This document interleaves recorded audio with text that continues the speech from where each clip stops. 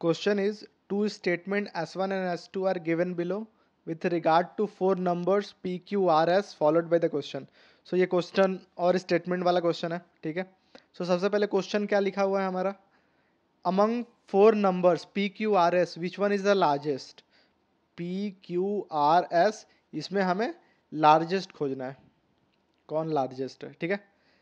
अब आते हैं स्टेटमेंट नंबर वन पे S one R is greater than P as well as Q that means जो greater है उसको हम राइट right साइड लिखते हैं। R is greater than P and Q P Q का हमें पता नहीं है। पी क्यू का रिलेशन तो आर पी क्यू से बड़ा है। सो so, इस स्टेटमेंट में हमें एस के बारे में कुछ नहीं पता है। इसका मतलब है हम लार्जेस्ट नहीं बता सकते।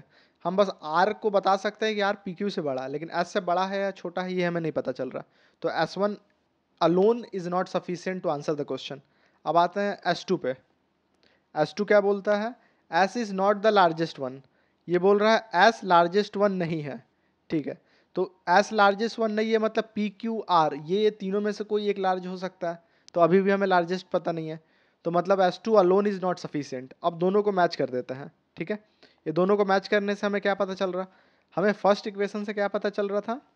कि जो आर है, वो पी क्यू से बड़ा है। लेकिन फ़र्स्ट इक्वेशन में हमें डाउट था एस पे। कि एस शायद आर से बड़ा हो सकता है या छोटा हो सकता है, लेकिन अगर सेकेंड स्टेटमेंट मर्ज कर ले तो यहाँ बोला है एस जो है, ये लार्जेस्ट नहीं है। इसका मतलब है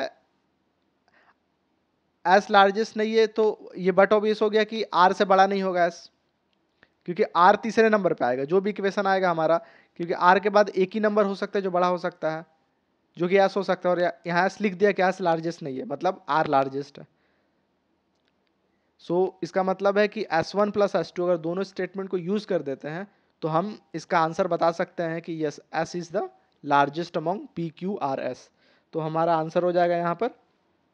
Answer option number C S one and S two together are sufficient but neither S one alone nor S two alone is sufficient to answer the question UPSC CSAT 2020 का complete solution का playlist मेरे channel पे available है, साथ में मैं link description में दे दूँगा, आप वहाँ से देख सकते हैं।